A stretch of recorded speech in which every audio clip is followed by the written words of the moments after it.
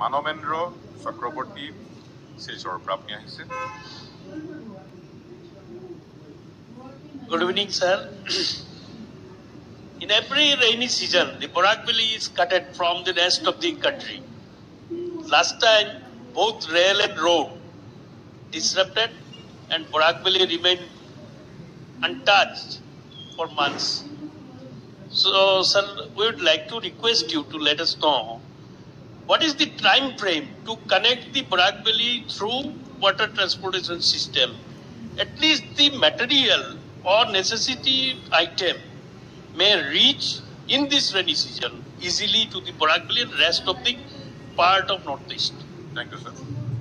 Look, uh, of course, this railway line is under construction and also the roadways is also under construction. You know that in the Haflong sector, there is a stress of, I believe, uh, 37 kilometer, highly sensitive because of the soil condition.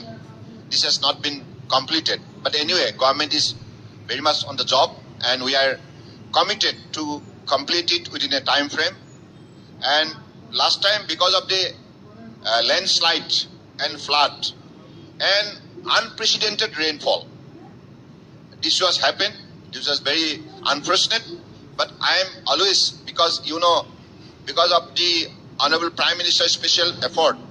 I think Barak got many many new trains to connect rest part of the country, and I am confident that once this particular railway line is got completed, and particularly the roadways, and also for the uh, like you know uh, protections of this kind of uh, landslide, then tomorrow definitely Barak and Brahmaputra will have better connectivity.